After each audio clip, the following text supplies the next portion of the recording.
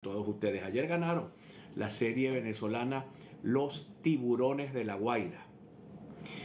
No sé dónde va a ser la serie del Caribe, alguno de ustedes que me diga dónde va a ser, pero hay una broma hoy eh, que dice que eh, eh, a la serie del Caribe va a poder ir el equipo, pero no los dueños, porque los dueños están, el dueño está inhabilitado, el dueño de los tiburones de la Guaira es el señor Wilmer Ruperti, un eh, marino mercante, ha venido en millonario, en dueño de tanqueros, de transportes petroleros, transporta coque para Europa.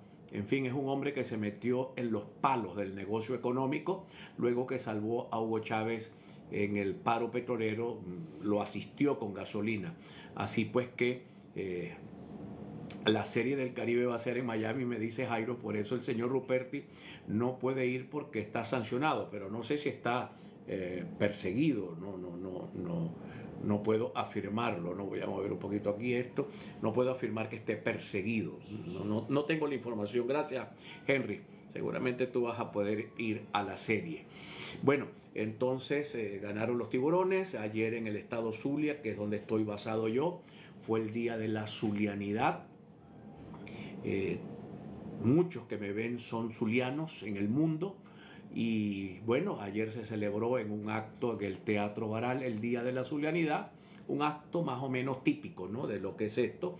También eh, se inauguró con la ausencia de Nicolás Maduro, que me pareció extraño que Maduro no estuviese en la inauguración del Parque Ana María Campos. La primera etapa fue inaugurada ayer, la inauguró la, la señora Faría, la presidenta de la misión Venezuela Bella. Eh, me pareció que era una cosa para inaugurar la Maduro por la magnitud, la importancia del parque, pero algo eh, impidió que Maduro viniese a El Zulia.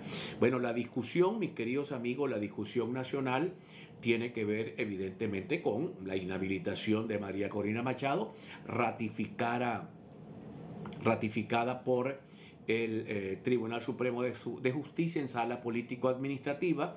El sábado a las 3 de la tarde el señor Gerardo Blight y el equipo de negociadores venezolanos eh, pues apuntaron eh, ante el país que los acuerdos de Barbados quedaron muy maltrechos con esto, que a María Corina se le debió haber abierto un juicio, que, eso, que no a María Corina, que debió haber sido un juicio en el Tribunal Supremo de Justicia y no una respuesta, una sentencia del Tribunal Supremo de Justicia.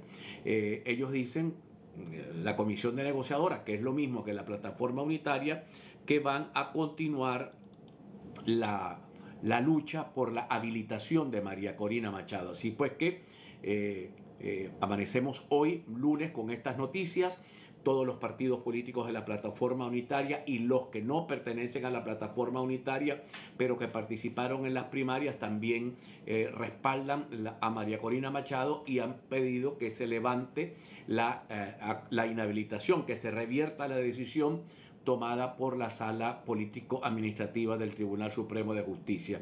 Entonces, bueno, estamos en eso. Hoy María Corina va a hablar a las 12 del mediodía en las redes del Partido 20 Venezuela. Vamos a estar pendientes de esto para poder hacerles llegar a ustedes, mis queridos amigos, la información eh, que la candidata le haga saber al pueblo de Venezuela eh, y al pueblo y, a los interesados en el mundo, ¿no? Porque los Estados Unidos se pronunció y dijo que van a revisar la política de sanciones, aunque no han dicho nada más. eh, el Reino Unido también se pronunció rechazando la inhabilitación. El gobierno de Ecuador se pronunció y no reconoce, según su canciller, no reconocen al gobierno de Nicolás Maduro, o sea, el señor eh, Novoa se inaugura desconociendo al gobierno de Nicolás Maduro. Eh, también mm, el gobierno de Uruguay rechazó y el gobierno de Argentina rechazaron los la inhabilitación de María Corina Machado, una carta también del secretario general de la OEA, del señor Almagro, rechazando la inhabilitación de María Corina Machado. Para algunos el juego terminó en el sentido de que la inhabilitación de Machado anula la posibilidad de elecciones libres en Venezuela, dice la OEA. Eso es tirar la toalla. El señor Almagro tira la toalla y dice